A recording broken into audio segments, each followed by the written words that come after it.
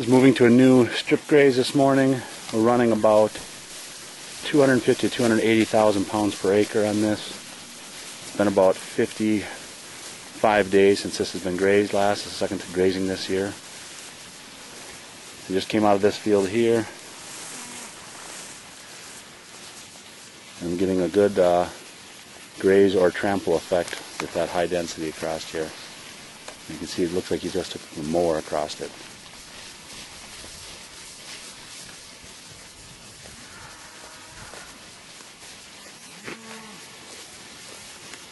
They're getting moved morning and night right now. So they'll go uh, again later this evening. You can see the polywire right there. So we're only a strip maybe 75 feet wide or so.